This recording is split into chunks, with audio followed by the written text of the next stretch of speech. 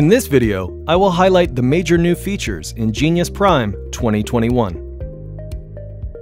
Geneious Prime 2021 introduces a number of improvements, making it easier to see, find, and share vital information. And it includes a redesigned user interface, a new CRISPR scoring algorithm, and much more. So let's take a look at these new features in Geneious, starting with the redesigned user interface. The interface has had a major refresh. The more modern design includes a new toolbar, icons, and font. If we look at the toolbar now, you will see that the menus and buttons you are used to are still easy to find. And we have added buttons for Add and Export, so you can easily add, import, or export sequences or documents directly from the toolbar. The new font is more clear and makes it easier to differentiate between the lowercase l and the uppercase i.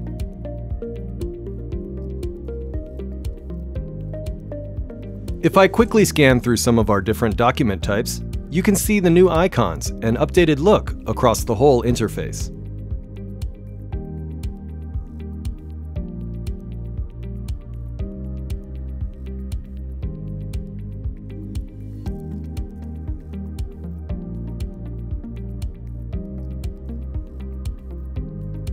Now, on to the new functionality. First, we have added a new CRISPR on-target scoring method. Geneious is a leading tool for CRISPR design. We have made enhancements to the CRISPR functionality on our last few releases, and 2021 is no exception. The Doench 2016 CRISPR on-target scoring algorithm has now been included.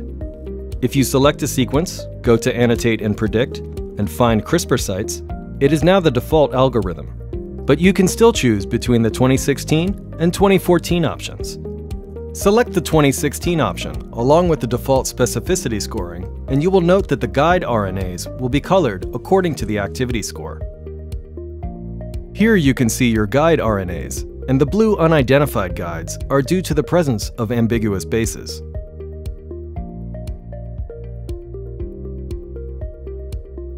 Next, I'll demonstrate how we've made statistics more accessible. Statistics can now be accessed directly in the document table, allowing you to sort and export your protein or nucleotide statistics. To access this data, go into Preferences and click on Recalculate Statistics. Note that any new or edited documents will have the statistics calculated automatically. You will now be able to go into Manage Columns and see more options. By default, we include molecular weight, isoelectric point, charge at pH, and extinction coefficient. But other options are also available.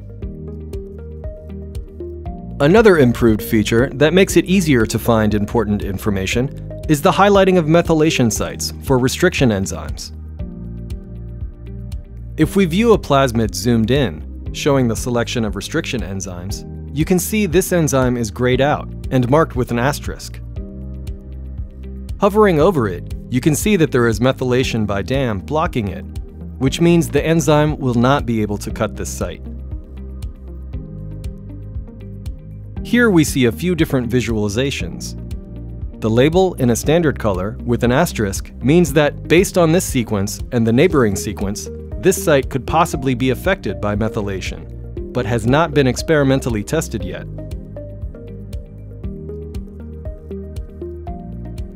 All of the enzymes here are affected by DAM methyltransferase. If you untick this option in the Highlight Methylation Sites menu, the highlighting will be removed and all sites are now fine. This option can be used if the bacteria you are using do not have DAM methyltransferase, so the methylation will not be an issue. If you hover over the restriction sites with DAM unselected, you can still see the information in the tooltip, but the site label is no longer highlighted. Shareable document links are also new in Geneious Prime 2021. If you go to the shared database to select a document, either single or multiple documents can be selected. And if you right-click, there is now an option to Copy Link to Document. The link is now easily shared with other shared database users through internet browsers or chat programs, which will open the documents within Geneious Prime. Now that you've seen all of these exciting new features, update to Geneious Prime 2021 today. These are just a few of the many new features and enhancements in Geneious Prime 2021. For a full list of all the new improvements, please check out the release notes at geneious.com/release-notes.